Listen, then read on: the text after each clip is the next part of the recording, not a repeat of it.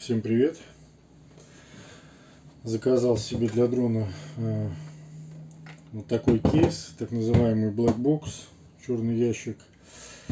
Пластиковый, водонепроницаемый. Э, ну, для переноски дрона где-то за городом самое то. Вот. Достаточно крепкий, то есть он выдерживает вес человека. На него можно встать. Опять же, повторюсь, есть разные размеры для маленьких дронов, для больших, там, да для чего угодно, не только для дрона. Да? На защелках здесь не таких. Здесь еще есть ушки такие под, не знаю, замок, может быть, от честных людей закрыться. Внутри поролонка уже с такими надрезами. То есть очень удобно что-то вырезать по размеру. Здесь уплотнительная, здесь вот резинка. То есть прям вот, ну не знаю, у нас насчет под водой, но он как бы не тонет, да, если его бросить в воду, соответственно, будет плавать. Вот, здесь еще какой-то есть э, такой вот барашек с винтиком, не знаю зачем, то ли для вентиляции, то ли что-то сюда перекручивать.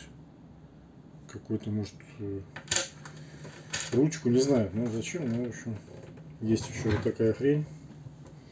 Ну, давайте, например, посмотрим, как сюда влезет этот самый DJI Mini. То есть все спокойно сюда влезает.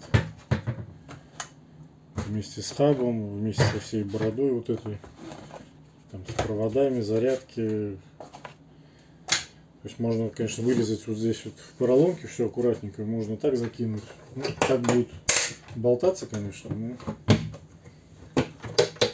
лучше заморочиться и вырезать. Есть, ну, есть совсем маленькие, как бы, да, вот такие. Тоже сюда мини-дрон влезает э, без проблем. Совсем немного места занимает. Вот, например, ну, единственное, что хаб, наверное, не войдет.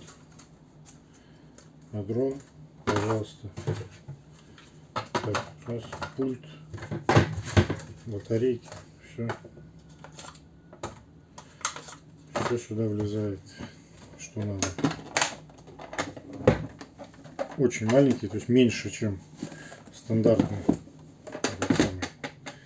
кейс.